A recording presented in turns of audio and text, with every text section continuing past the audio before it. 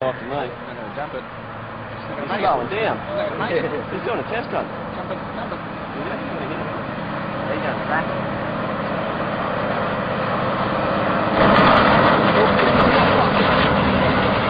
Holy, fucking up. This truck hardly even moves.